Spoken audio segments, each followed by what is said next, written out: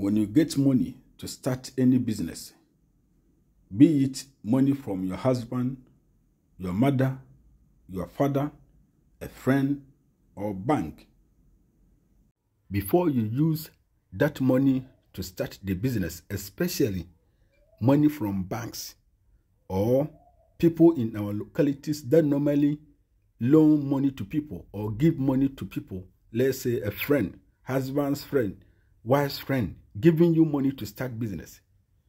If you don't put spiritual directions on the way, you will use that money to start business or invest into your business, but at the end, you are going to run at a loss.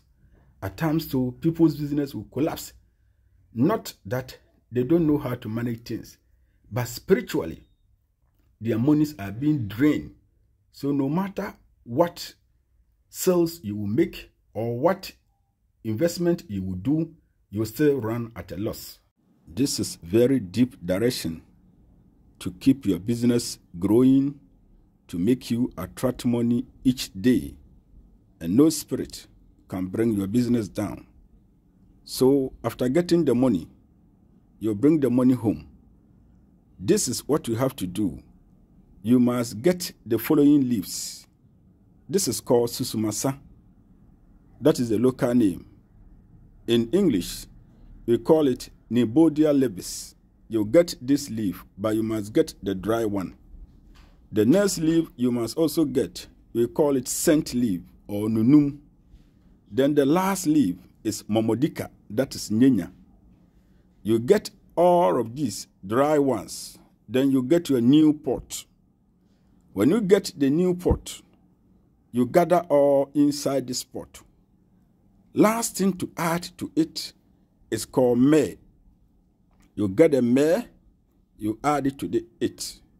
Then, now, you have to take your dove because you will need white dove to do this direction to pave way for your business to grow well, for you to see money always, and for you to have the power to stop any negative effect that is following that money that you're about to use to do your business. So you put this down, then you take your white dove you're about to kill this white dove. So, what you have to do is give the white dove water to drink. Then speak to that white dove what you want your business to be, how you want money to flow to you. So, any sweet things that you want in your business, speak to the dove. After speaking to the dove, then you kill it. When you kill it, use the blood to circle around the pot hmm. that is containing the leaf. Use that blood to circle around that pot containing the leaves and the meh. After doing that, the next thing to do is just set fire into these dry leaves. Set fire into it. Let it burn so that you get ash out of it. When you finish burning, you keep it there for the fire to just quench or everything to go off so that you get the rare ash. Now, after getting the rare ash, what you have to do next is in the evening, the money that you collected from bank that you are about to use to do your business or anyone who has given you money to do business, you take mo- that money into your room. Then you put the money on the table or on the floor. Pray over the ash and then sprinkle some of the ash into the money, stating your wishes or your desires as you're about to use this money, what you want to see.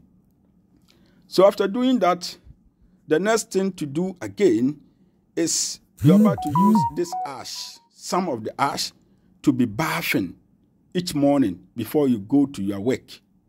That means after sprinkle some of the ash into the money. You can start the business the following day. But before you go, you must just use some of the ash to bath. That is, after you finish taking your regular bath, pour some of the ash into small quantity of water, then you use it to wash yourself before you go. You take one tablespoon of the ash, mix with that small quantity of water, pray over it with your desire, and then wash yourself.